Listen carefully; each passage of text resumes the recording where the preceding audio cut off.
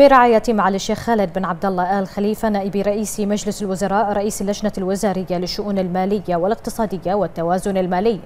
قام معالي الشيخ سلمان بن خليفة آل خليفة وزير المالية والاقتصاد الوطني اليوم بالتوقيع على اتفاقية تمويل جانب من مشروع تطوير شبكة نقل الكهرباء جهد 400 كيلو فولت بقيمة 100 مليون دولار أمريكي بين حكومة مملكة البحرين والصندوق الكويتي للتنمية الاقتصادية العربية حيث وقع الاتفاقية سعادة السيد عبد الوهاب أحمد البدر المدير العام للصندوق الكويتي للتنمية الاقتصادية العربية نيابة عن الصندوق. كما وقع اتفاقية المشروع سعادة المهندس وائل بن ناصر المبارك وزير شؤون الكهرباء والماء. تتضمن الاتفاقية توفير التمويل اللازم لجانب من مشروع تطوير شبكة نقل الكهرباء جهد 400 كيلو فولت والتي يشمل إنشاء ثلاث محطات تحويل جهد 400 220 كيلو فولت ومد كابلات أرضية بالجهد ذاته لربط محطات التحويل الجديدة في محطات التحويل القائمة بالشبكة الوطنية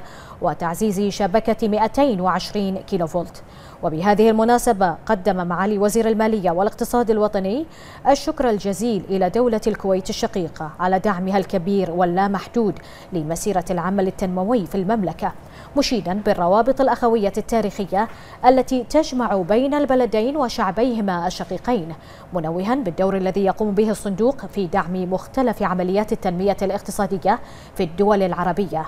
من جانبه قال سعادة المهندس وائل بن ناصر المبارك وزير شؤون الكهرباء والماء. إن هذه الاتفاقية تأتي في سياق التعاون المشترك بين الدولتين الشقيقتين والتي تسهم في تطوير الشبكات الأساسية للكهرباء على أكمل وجه. وهو الأمر الذي يحقق رؤية الحكومة الموقرة للكهرباء والماء على المدى الطويل بما يتوافق مع رؤية البحرين الاقتصادية 2030 لا سيما في الاقتصاد المستدام وتأمين موارد الكهرباء